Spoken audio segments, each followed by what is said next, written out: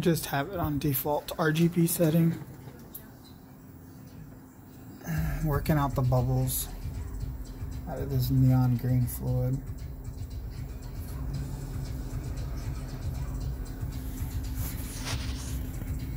RTX 2080 Ti.